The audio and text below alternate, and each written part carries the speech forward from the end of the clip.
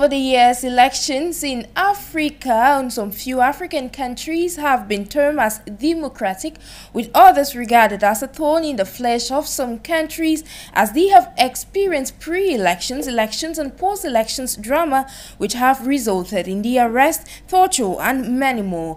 Today, August 24, 2022, Angolans are heading to the polls to elect their next president and members of the National Assembly Incumbent President uh, Joao Lourenco of the ruling Popular uh, Movement for the Liberation of Angola MPLA party is hoping for a second term in office after he has governed the oil-rich country since 2017.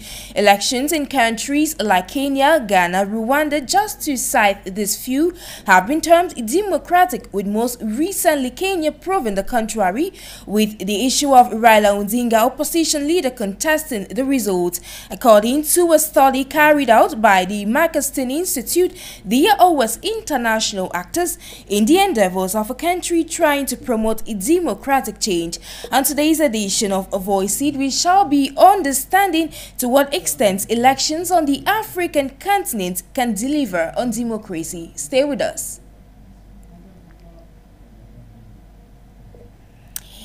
Greetings once more, ladies and gentlemen. Thank you immensely for joining us on today's edition of Voice It over your Pan African channel Afrique Media.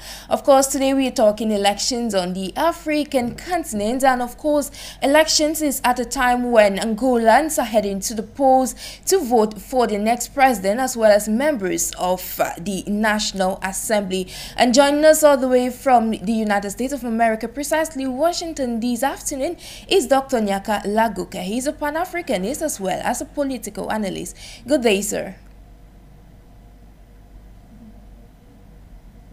Greetings, Dr. Gnaka.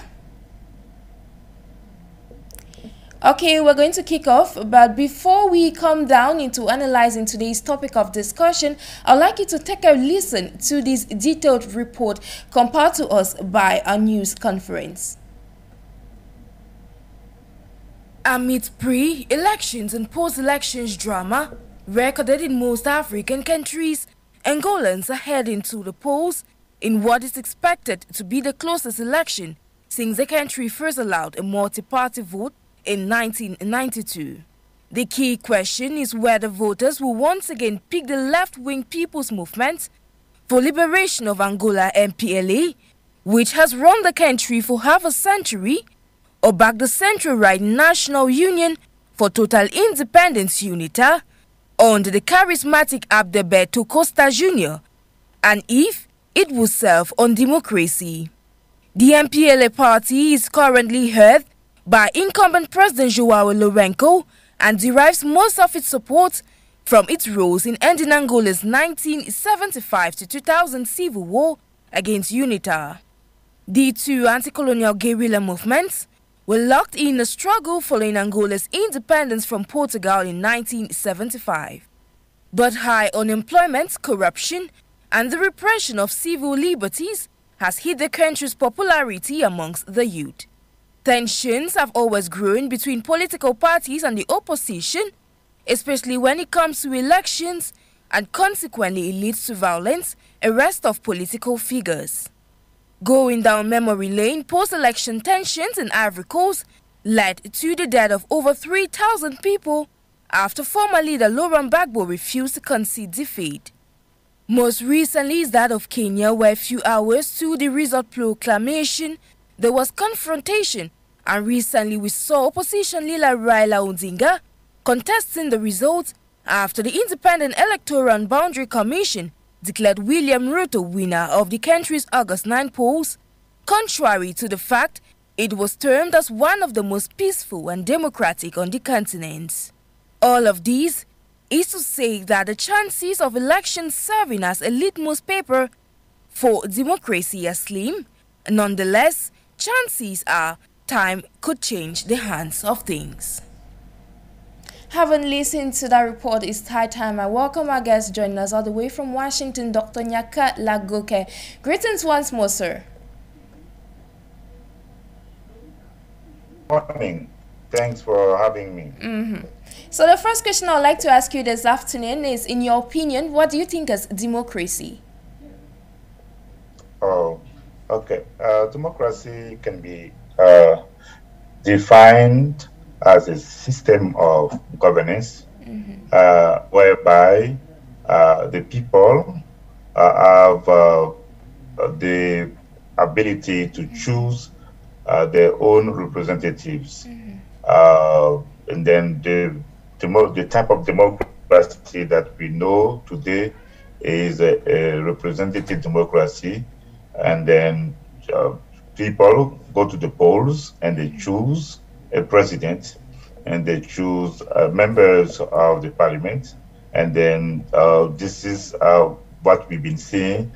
And then uh, the greatest, or maybe the first major example in our modern history, has been uh, the United States of America uh, when they succeeded in defeating the British Crown, when the world or when Europe was under the system of monarchy, uh, the United States of America, even though slavery was in force, uh, they spoke about the government of the people, by the people, and then they mentioned the concept of democracy. Mm. And then this is that model was going to become very uh, important, like in world history. Of course, uh, in England, uh, there was already a different type of system called constitutional monarchy, you know, after the Glorious Revolution. Uh, but uh, the United States came with the concept of democracy, uh, which is not a new concept, but they've revived it. And then since that time, uh, many in the world are going to the polls, electing the officials, and this is what we've been seeing. This is how we can define democracy. Mm. Completely different in a republic, different mm. from a monarchy, from totalitarianism, from fascism, and many other uh, ideologies or systems that can lead to systems uh, in, in which people are oppressed and deprived uh, from the civil and then the liberties. Okay, thank you, Dr. Gnaka, for that elaborate definition. Of course, today we are discussing this issue because Angolans are heading to the polls to vote for their new president, as I earlier mentioned, as well as members of their National Assembly. Lately, we have we have witnessed the elections that took place in Kenya. So, what assessment, what analysis do you make of uh, elections on the African continent as a whole? Oh yeah, uh, you know, of course. Uh, we are moving. Uh, we are moving in the right direction. Mm-hmm. Uh, in the aftermath of uh, uh when the founding fathers of, of the African nations, when they conquered independence, uh, because they wanted to uh, reduce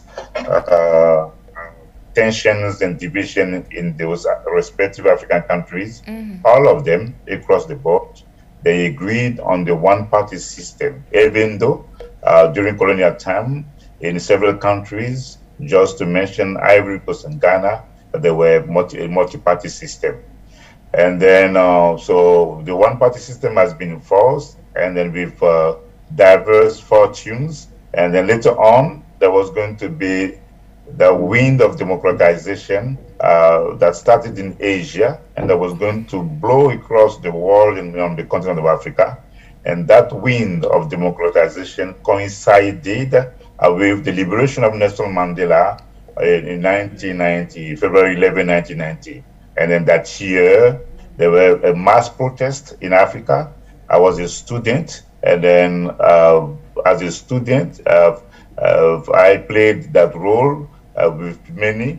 And then we uh, wanted more freedom, and then we requested a multi-party system in Ivory Coast. And then everywhere, in many other African countries, see the same thing happened, and people organized several national uh, several national conferences mm-hmm. in order to build uh, the, the, new new African country African countries with uh, the, the multi-party system.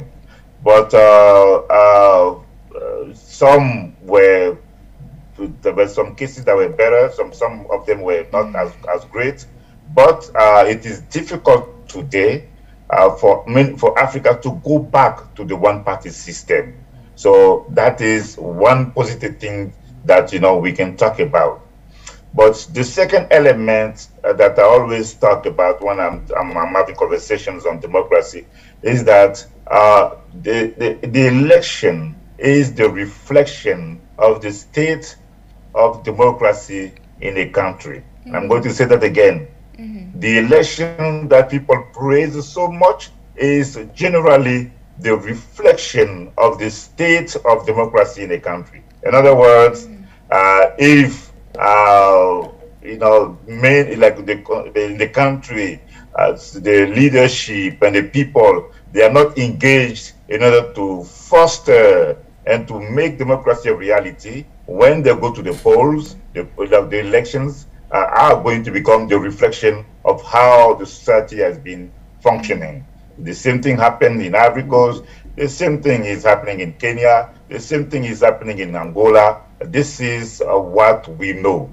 And uh, so, uh, yes, election is, is, is the, uh, you know the organization of election is is uh, is very important, but uh, the most important thing is to advance the cause of freedom and justice in the society, and then fair and transparent election can only be the outcome of the evolution of the of democracy in the society.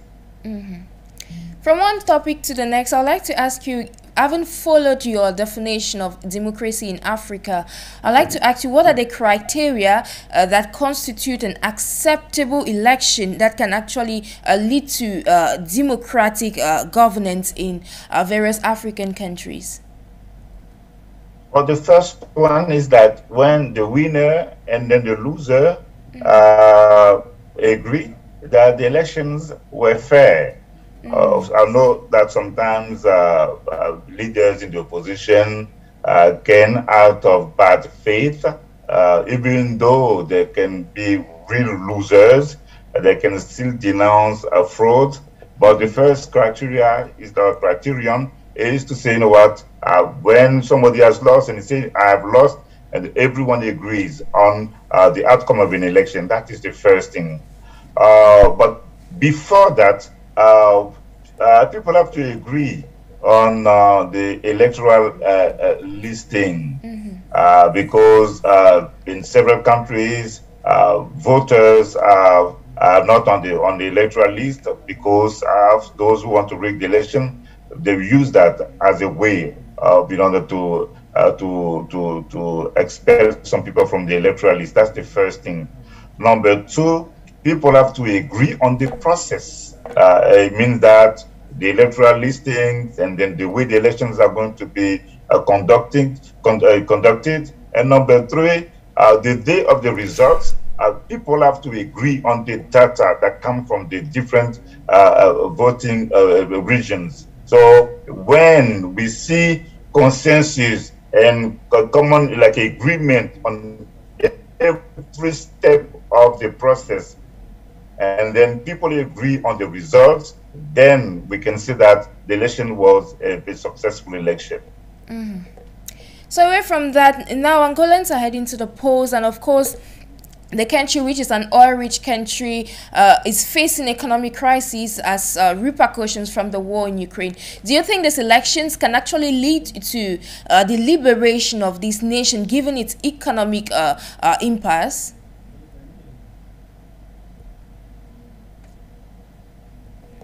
Uh, you know the the situation in Angola. It is uh, it is uh, you know I don't like to talk about Africa like that, but mm. it's uh, it's, uh, it's unfortunate mm. uh, because uh, uh, you know they had the opportunity uh, to be a very like a real developed country in Africa, mm-hmm. uh, uh, given the fact that uh, you know they had there was a time mm-hmm. oil was booming, and so and they had it.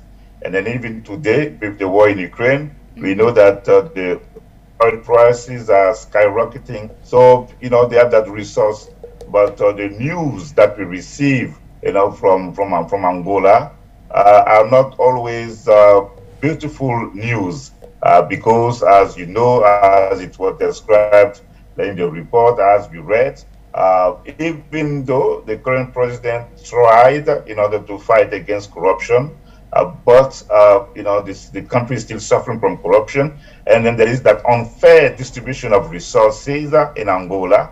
And then if today the Angolans are thinking about uh, putting uh, like taking out of power the MPLA, then it means that uh, there is a that there is a high level of dissatisfaction in the country. Mm. And then the current president, even though uh, he tried mm. to go after the family of the former president Eduardo dos Santos, I think that he has not responded uh, to the to the expectations of the people in the country. And uh, so this election can be uh, things can be can be a, a, things can change, but uh, I am not uh, because I, have, I don't know uh, the, the, the, the, challenger uh, who is trying to become the president. I cannot anticipate and say uh, the person when he comes is going to be uh, like Thomas Sankara or he's going to be like Kwame Nkrumah. Because that is the type of leaders we need to see in Africa. People who are selfless, uh, people who care about the country, uh, people who are willing to put the resources of the countries at the disposal of the African masses. And then until then, everything that we're doing, uh, we are not doing the right thing. Yeah, exactly. You said it all that uh, the leaders of today can never ever be like those of in those days, like you you cited uh, Kwame Nkrumah, uh, Thomas Sankara, just to name these few. But again, uh, we know that Uh, there's just this statement that South African President Cyril Ramaphosa once said that Africa has made a lot of progress when it comes to elections, transparency, and democracy. So now, what do you what do you think needs to be done, given what we are seeing in Kenya at the moment with Raila Odinga contesting the results, which was earlier termed as one of the most democratic on the African continent? Oh, yes, like I said, uh, people when we talk about the elections, we want to be, we want to, uh, we want to see. Uh, because I have spoken, you know, because mm-hmm. of what I do, I mm-hmm. uh, I read, but I've spoken to people on the ground uh, during the election in Kenya, mm-hmm. and then uh, the reality is that I think four out of seven members of the electoral commissions did not agree. Yes. with the result that were about to be so we cannot say that the election was uh, transparent. You know, people can go to the polls, uh, they can vote, but now when people comes now to, to, to count the votes, and then uh, the president of the electoral commission, he wants to give the results, and the other members do not mm agree, then there is an issue. issue. Mm. So we cannot say that the election in Kenya was that democratic. Uh, that is the first element. Uh, the second thing, I think people have to continue the struggle. People have to continue the battle. Because democracy, people have to know democracy as always and will always be an unfinished business. Mm -hmm. I am here in the United States, uh, seen as the, uh, the beacon of democracy in the world. And then we know that uh, uh, uh last year, of this year, uh, when Donald Trump lost the election, uh, we saw that uh, Trump uh, was about to change the outcome of the elections or uh, that his people went to the to the capital because they thought they were doing the right thing, doing the revolution for Trump to be in power. So what does it mean? It means that uh, are not infallible. Human beings, uh, they have those temptations. Uh, when somebody has power, he is tempted in order to abuse the power that he has. Mm. Therefore, uh, people have to try and put into place systems uh, to you know to to you know, to uh, to to uh, to prevent the abuses of power in the society. Mm. So, if what happens here uh, is happening in different parts of the world. Mm. It is only when we have are people with a high level of consciousness, are people who are thinking about the interests of nations, are people who are thinking about the interests of people. It is only when you have those people, they can say, you know what, I lost the election, I can leave power. Mm -hmm. uh, in the case of Nigeria, Jonathan Goodluck, when he lost the election, he was was not willing to go. He wanted. He was. He was not a. He did not want to leave power. Uh, even uh, Obasanjo that we talk about today, Obasanjo wanted to change the constitution in Nigeria to be in power for a third term. And Nigeria was about to experience another civil war. So uh, for me, people have to go through the struggle, and it is not just some individuals. Uh, we have been talking about all the constituencies in the society, our political leaders, and then civil society, and many other groups. They have to make sure that they fight and they preserve democracy. Because if we don't have democracy the way it is, uh, then it is going to become complicated. We may go back to some unending uh, and uh, some some uh, eternal cycles of violence in the society. Now, do not get me wrong. I am not saying that uh, the model of democrat, the the model that we are experiencing is a perfect one. I'm not saying that. Mm-hmm. That's why people have to work to perfect that model. In the case of Africa, maybe not today, another time, we can have a conversation about what could be that model of democracy that can uh, fit in the African realities. That that's another conversation. Mm-hmm. So, if I've listened to you, you will say that elections probably is not really a true test of uh, democracy in Africa. Apart from elections, what other measures do you think uh, African governments can put in place in order for uh, a democratic governance to finally pull through? Oh, okay. So, if as you ask the question, don't let's go for it.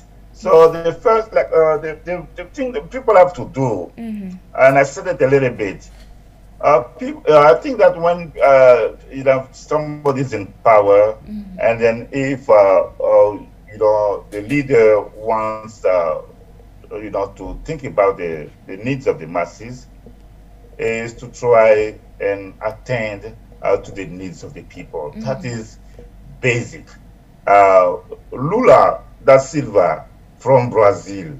Uh, when he was about to leave power, mm. uh, he had 80% of the approval rating in Brazil. Why? Because in Brazil, good politics, it is about meeting the needs of the people. I know in some African countries, people try to do that. You know, we have Botswana, we have the example of, of Mauritius, I understand that. But I'm talking about the case of Lula because I read it, I read and then I can quote that that doing good politics is about meeting the needs of the people. So that is what every African president should be doing.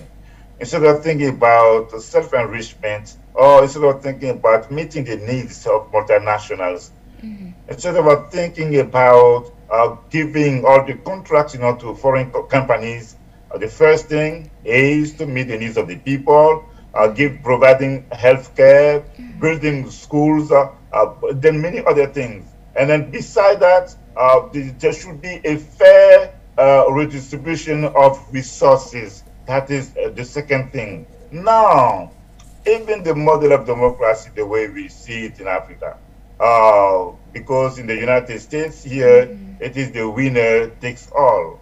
Whoever wins the election imposes rule and then he points his people everywhere. This is what people think that this is how people think that this is how democracy should be. But we are there are several ways, you know, to, to you know to to uh, to to implement a democratic system in a country. In the case of Africa, we need to try and find the middle ground uh, between uh, the, the, the, the needs of the minority and then the rule of the majority. I'm not saying that people should build, uh, they should uh, put together some union, uh, national union government. That's not what I'm saying.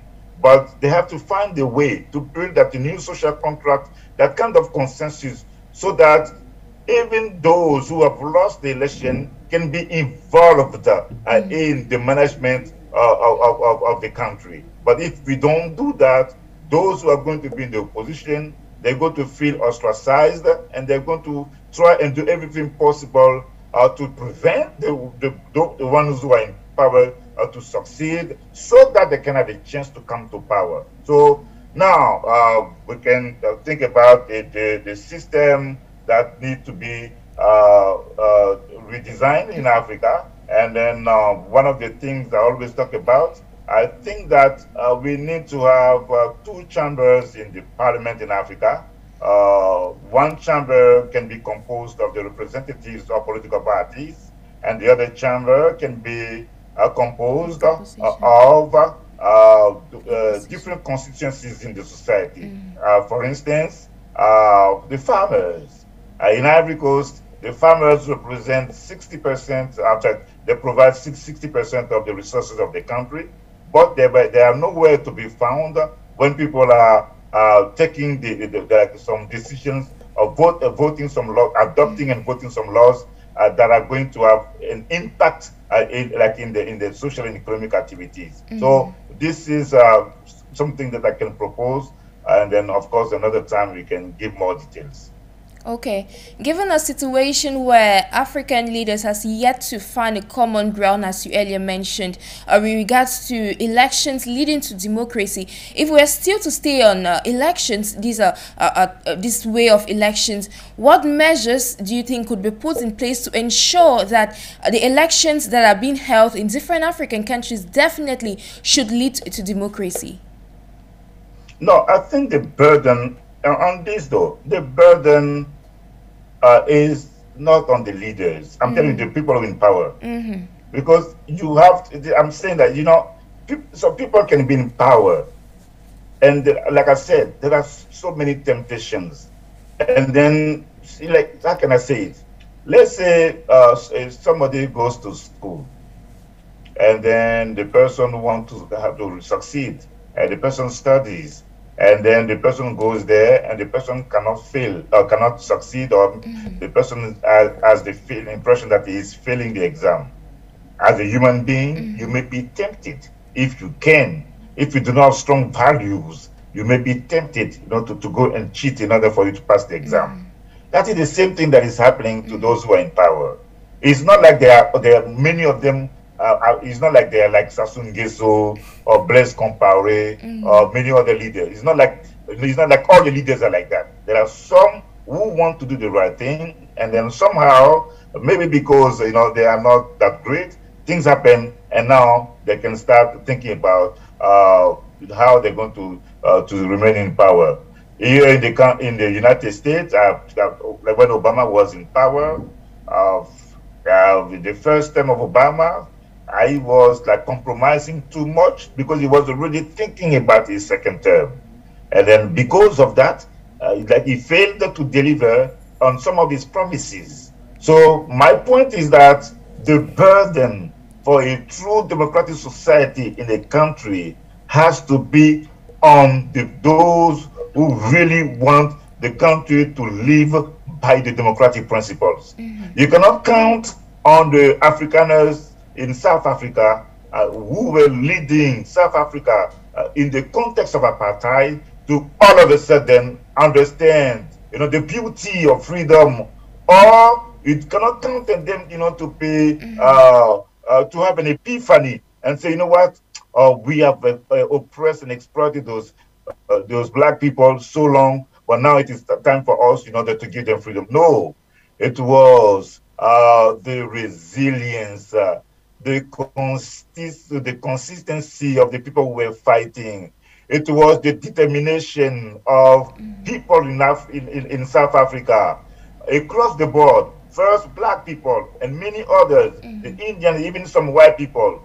It was the mobilization of the leaders in, the, in Africa, mm. the mobilization of freedom fighters and then justice seekers across the globe and from all walks of life and from all races they were the one who imposed the one man, one vote uh, for which Mandela went to prison in 1964. He went to prison because of that.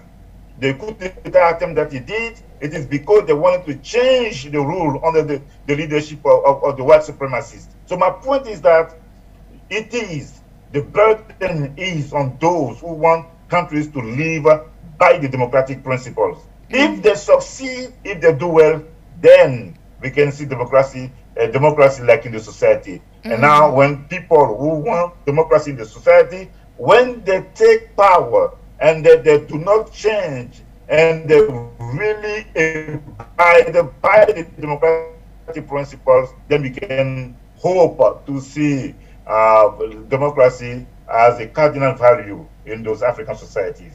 Mm-hmm. Uh, if not, uh, uh, let's see, I don't, I don't want to give uh, some other too many examples, but uh, I just want to stop there. Okay, no problem. You said the burden is not just on the African leaders, but it's probably on those that want to eradicate all this.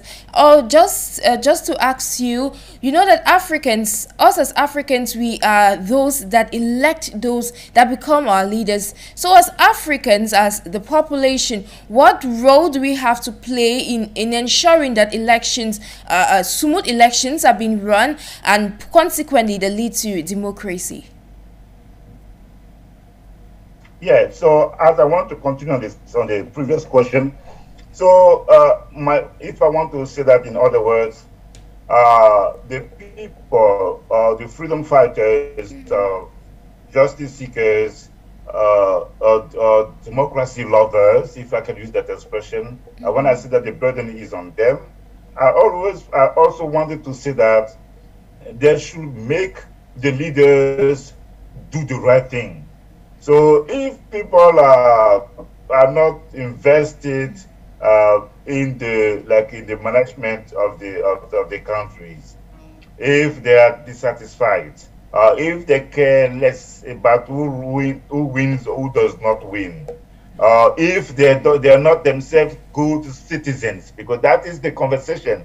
And being a good citizen is not just about going to the to, to the to the polls and vote being a good citizen. It's about uh, uh, educating oneself uh, about the, the, affairs of the world, the affairs of the country. being a good citizen, it is about caring for the community. Being a good citizen, it is about taking care of cleaning like the communities or neighborhoods. It is about trying to meet the needs of the people uh, like that you can in your community.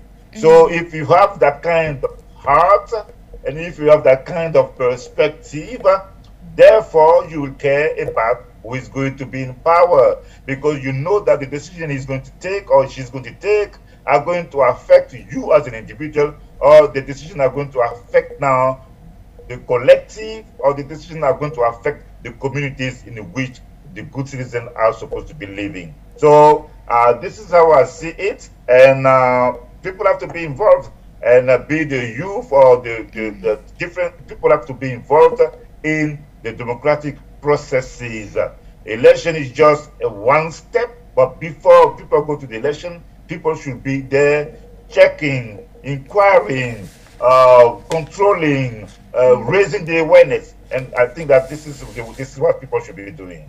Mm.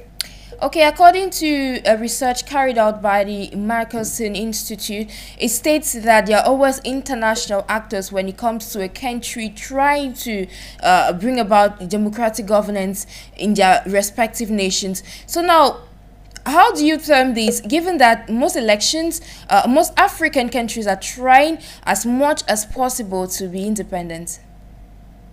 Yeah, it, uh, last time we had the when we had the debate, and you know, it was a very interesting element. For, I think it was Ella. Mm. Uh, is that gave, uh, gave. Uh, it was the, I spoke about that a bit, but it was the one who really spoke about it, and it was it's a very uh, important piece when in the in the conversation about democracy in mm. Africa. Uh, we have to know that uh, the system uh, in which we are is called uh, neo-colonialism. Mm -hmm. And then Kwame Nkrumah wrote a book on that in 1965. And then when he was defining neocolonialism, he was talking about leaders in power and then whose policies and then uh, were uh, uh, were uh, conceived uh, from outside forces and imposed on African leaders. Mm -hmm. same thing is happening when we when we are looking at the election in Africa. Uh, to mention, for instance, the case of France, uh, France wants to control its former colonies, and then France will do everything possible in order to impose uh, the, the candidates that are going to advance the hegemony and then the neo-colonial agenda of France. Uh, that's why uh, France supported uh, the former president of Mali, IBK, and that's why France is opposed to Assimi. Uh, because uh, uh, France want to see uh, in power uh, Macky Sall or somebody who can come from Macky Sall's rank. Uh, and then France does not want Ousmane Sonko, who is the rising star of of, of, of, politics in Senegal to be in power because he's a nationalist and he's mm-hmm. and then somehow he's advancing Pan Africanism. Mm-hmm. So we see that, and then it is happening over and over. And then again, like I said, uh, the same way those who want to see democracy to triumph in the society, uh, the, if the burden is on uh, on them, that's the same way the burden is on them mm-hmm. or to reduce the, the neo-colonial interferences of France or any neo-colonial power in the domestic affairs of Africa or in the organization of elections in Africa. Thank you so much, Dr. Gnaka. We have recently just been joined by uh, Mr. Fa Elvis Tayong. He is a political analyst joining us all the way from the southwest region of Cameroon. You're welcome, sir. Well, thanks very much. It's my pleasure. I apologize for coming in late. Uh, probably had uh, some network wahalas and booyah. But I think um, I'm happy being with you on the program. It's my pleasure being here today. Okay, the first question I would like to ask you this afternoon is uh, uh, Angolans today are heading to the polls to vote for the next president after incumbent uh, President Joao Lourenco is heading in for a second term. And of course, they're equally going to vote for members of their National Assembly. Do you really think that these elections that are about to be held there in Angola, as well as others that have held on the African continent, could cause, possibly uh, be serve as a litmus test for democracy? Democracy on the continent?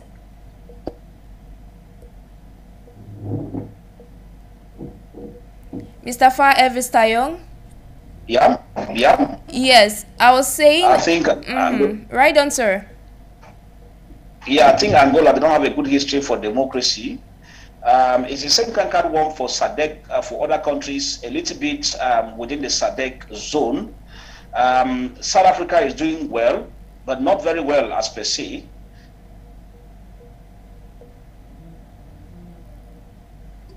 Okay, we've just got indications that the network issues are really not the best at uh, uh, Mr. Fa Elvis Tayong's end, but we're going to quickly ride on with Dr. Gnaka.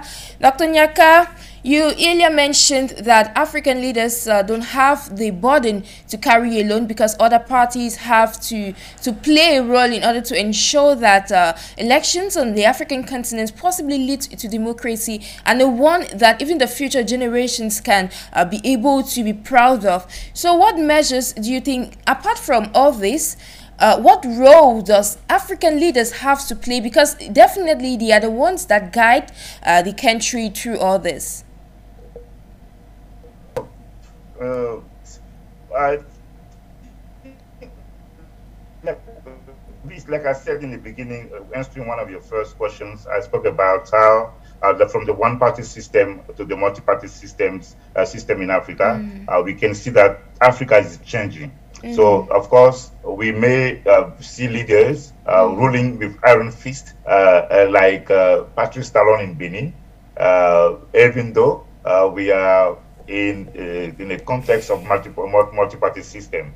Uh, we can see Alassane Dramane Ouattara in Ivory Coast uh, ruling like a king, even though there are many other political parties you know, that exist. Mm -hmm. so we this this what we see, uh, uh, but there are some leaders, and then I've given some examples, like Jonathan Goodluck, who knew he lost the election and then who could have stayed in power, but who, who thought about it, but who understood that it was an uphill battle, and then who decided, you know, to, to relinquish power. Mm. So we have some positives, uh, some positive examples on the continent of Africa. Mm. So uh, we cannot. Uh, uh, in the case of South Africa, I think uh, Felix was talking about South Africa.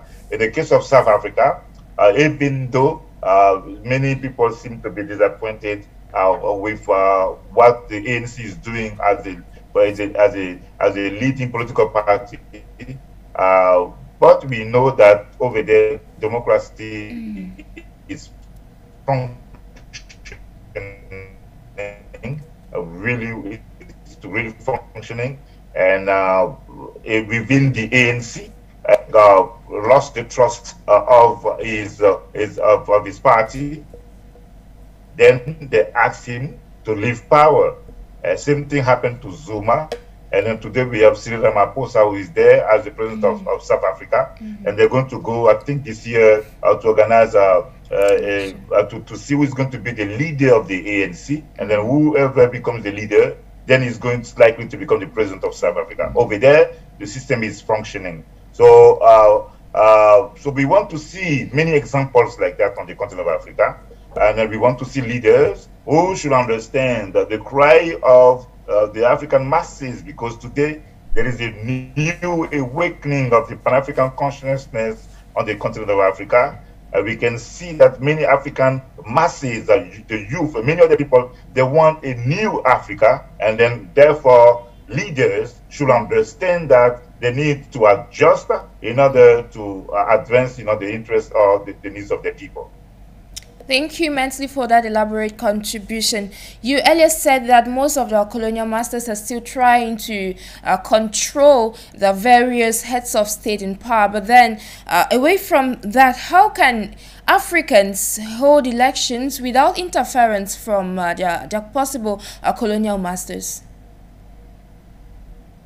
Can you repeat that? My net was, was acting up here. So what, can you repeat your question, please? Yes. I was saying in line with what you earlier said that uh, former colonial masters are still trying in as much as possible to, to impact uh, various elections that are held uh, in different countries. What do you think Africans can do in order to hold elections free of the interference uh, of, of their former colonial masters? Okay. Yeah, the first, uh, first element is that people have to raise the awareness mm. uh, and then against uh, neocolonialism. This is what we're doing. This is what you are doing, uh, Sharon, and with uh, your, your, your, this channel and many others uh, on different channels. Those who believe in a new Africa, we have mm. to raise the awareness uh, because we are. If we say that we are independent, mm. we should be able to be proud to be independent and then we should be able to do things in order to reduce the interference of the of, of the neo, colonial forces. Mm. So that is the first thing that we have to do. So when we have many people in the country uh, or in the countries uh, who uh, are willing uh, to fight for their freedoms, who are willing to die for their liberty, who are willing to defend, you know, the you know the the the the, uh, the, the uh, the, the countries, you know, from uh, nuclear interferences, and then we can hope uh, to see uh, that uh, they can really act as uh, good citizens, they can act as people who are going to do things in a very independent way. That is my, my the first thing that I see. the second element is that people have to reduce the dissensions in the society. Mm -hmm. It is because the dissensions exist. It is because we have not resolved our differences. Uh, that's why external forces can play some against the others. So it means that this is going to be on the leaders and the people who are not in power to understand that at least we can agree on a on a, on, a, on, some some some some some common ground and then when we do that then you know we should be uh, working in order to reduce the interference of the of the of the, of, the, of the Europeans. The uh, the third element is to see justice in the society uh, justice for all not for some. And then we can see number four we can see and I've mentioned that in the beginning, a fair redistribution of resources. It is also a mechanism to reduce the dissensions in the society. When we do that, then we can say, you know what, we, uh, we, we, we, can see that the European may not uh, succeed in their desire to come and manipulate the elections or manipulate, you know, the electoral process or uh, trying to interfere in the electoral processes in Africa. Mm -hmm. Thank you so much for those three steps. But then I would like to ask you, we have uh, seen records of uh, uh, pre-elections as well as post-elections violence in, in different African countries. How can this be, be put to an end, given the fact that it's this population uh, that have been affected that have to vote for new presidents? Uh, can you repeat? Can you repeat your question, please? Yeah, I was I was saying that we have we have seen records of uh, of colonial uh, pre-elections as well as post-elections in different African countries across the continent. But then uh, these elections, these persons uh, that are being tortured or being uh, uh, violated upon their rights are being uh, dealt with are persons that have to vote for the new president. How do you, how do you, what's your take on this? Okay, maybe, maybe I'm not sure if I understand it, but I think it goes by uh, it boils down to uh, justice in the society. Uh, it, it, boils down to uh, doing uh, what needs to be done in order to uh, reinforce a sense of justice mm -hmm. and then a sense of inclusion in the society. Mm -hmm. So when we understand that the citizens who, are, who have been oppressed or the citizens who are victim of uh, discrimination and abuses are not foreigners, but they are also members of the society. Mm. And then the person is in power has to understand that uh, the policies has to become, has to, to be there for everyone. This is what I was talking about, justice for all. And then I think that uh, that's the only way uh, to, you know, to contribute uh, to advance uh, to the advancement of democracy in the society. Don't know if I understood your question. Mm -hmm.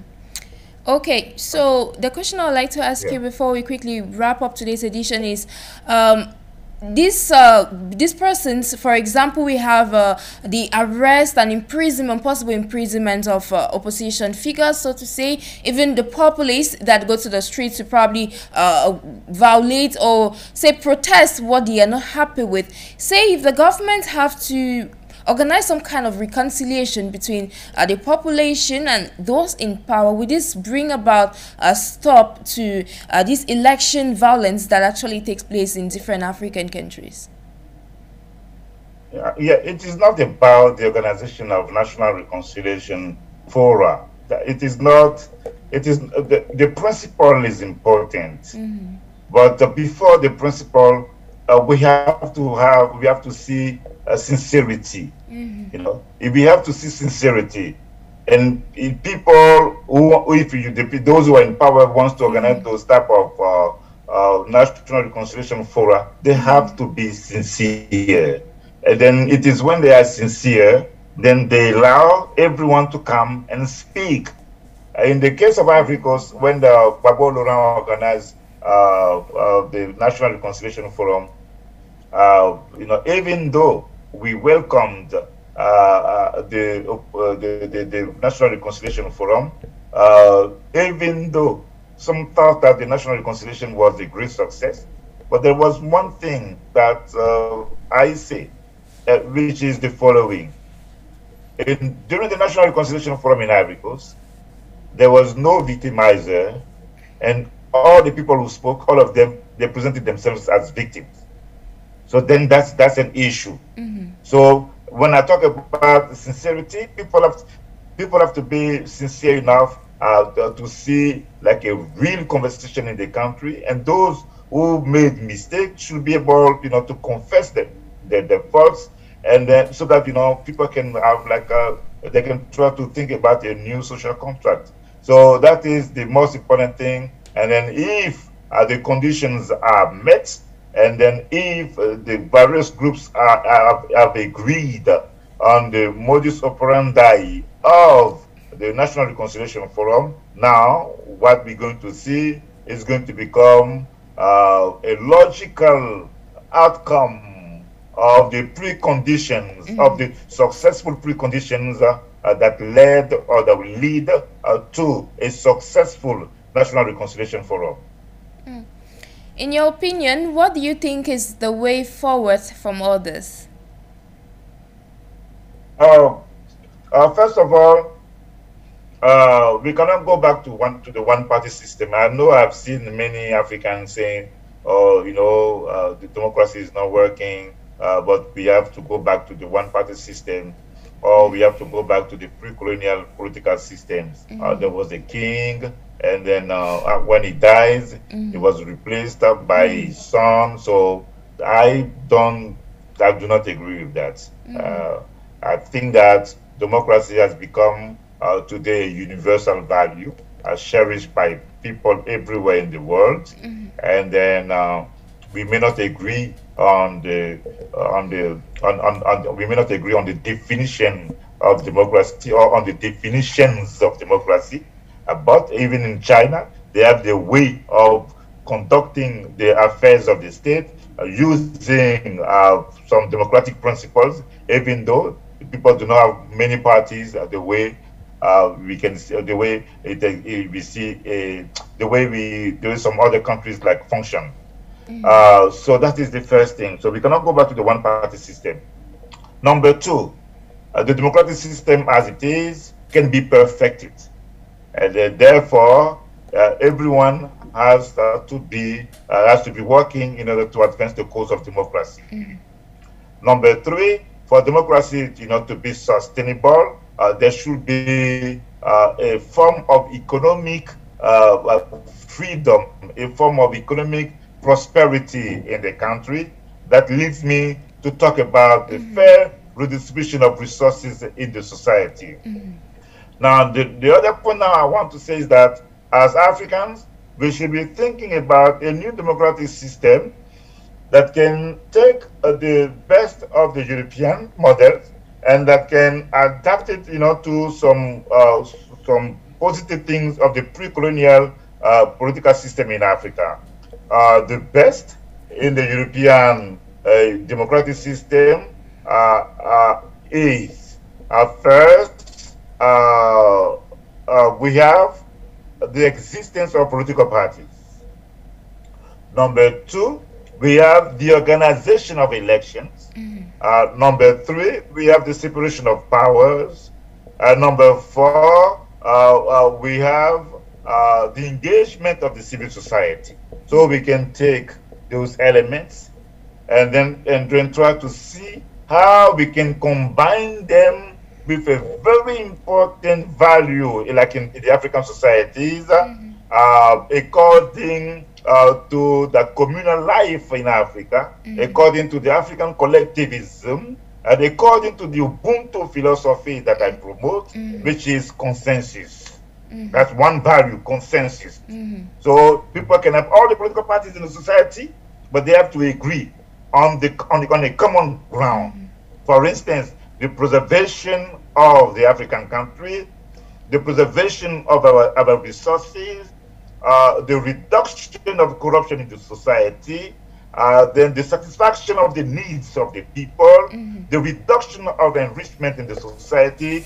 These are some of the elements around which we can build consensus, irrespective of the, the dissenting uh, of ideologies in the society. And then, of course, I spoke about the second principle, according to the African communal life, is inclusion. And then I mentioned that when I was talking about the fathers. So this is, for me, the way forward when we want to engage the conversation about democracy in the world and in Africa.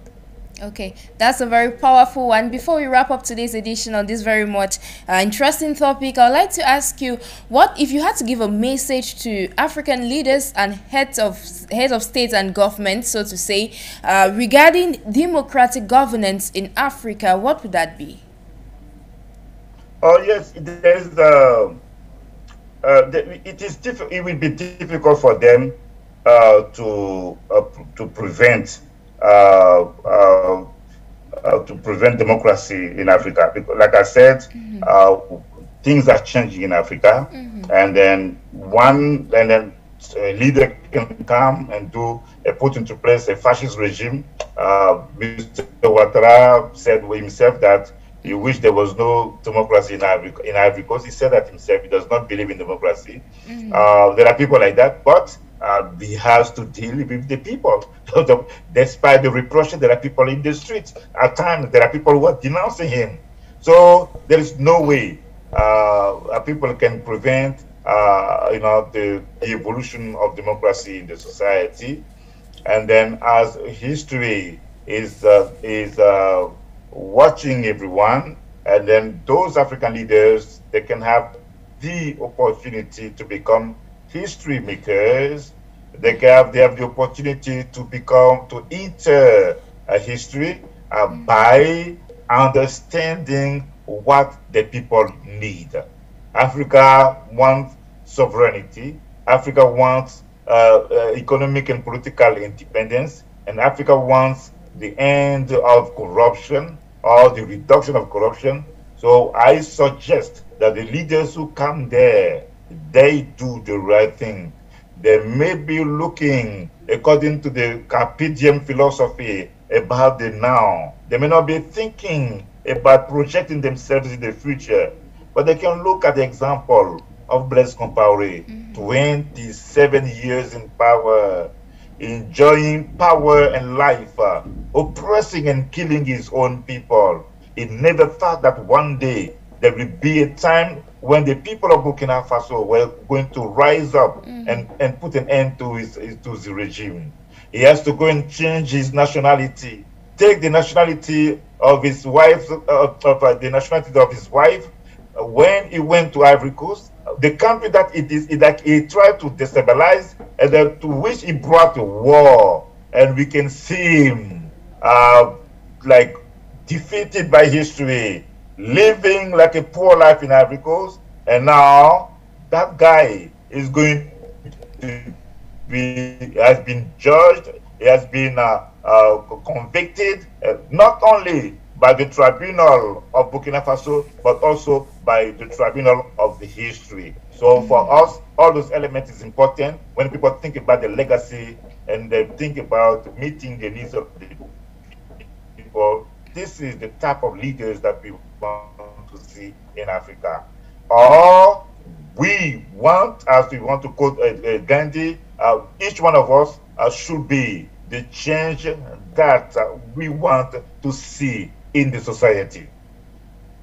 Okay, with special precision to Angola, who, uh, whom are heading to the polls today to uh, decide on their future, what would you tell them? Oh, listen, if the, whoever wins should become president. If uh, Lourenço uh, loses the election, uh, you know, should understand that, uh, uh, you know, he has to relinquish power but more important uh, than that is that as everyone is talking about a tight election, that it means that when or if uh, Lourenço wins the election, mm. it means that he has to do some fundamental changes in the society. Mm -hmm. And it cannot just be his own party. It has he has to try uh, uh, I call that, uh, we don't see that yet in Africa, but I call that conversation on governance. it's not like National Reconciliation Forum, which is about peace and then reconciliation. The national, like, a, like a national governance, like con convention, should be put into place and then invite various representatives uh, of uh, the of the Angolan society so that they can discuss about what needs to be done when it comes to economy, to politics, to culture, to society, to spirituality, mm-hmm. so that they can have another consensus on that. That is that is that's another way of ruling African countries because if you don't do that, then it's going to be difficult. So let's say, like even uh, like uh, you know, Ruto who won in, in Kenya, it is the same thing. You cannot even, you did not even have 51 percent. Mm-hmm. It means that like a fourth, more than 49 percent mm-hmm. of the Ken, of, of, Kenyans are voted against him. Half of the country. How are you going to come and impose the, the will of people who are not even 51 percent over people who are a little bit above 49 percent of the society? Mm-hmm. That's why inclusion and consensus are important in the conversation that we are having. So even if he wins, it is not sufficient because you need to govern.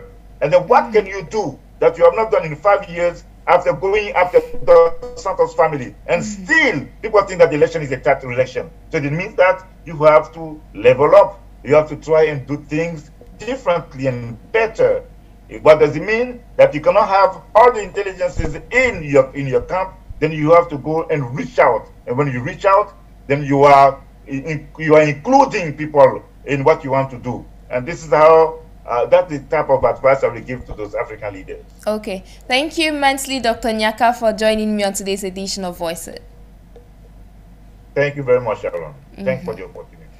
Ladies and gentlemen, we have come to the end of today's edition of Voice It via Pan African Channel Afrique Media. I have been Jix Nabuse for presentation, of course, saying company of our programs.